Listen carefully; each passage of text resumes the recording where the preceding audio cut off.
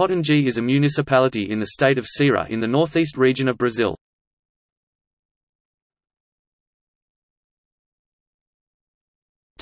See also. List of municipalities in Kerr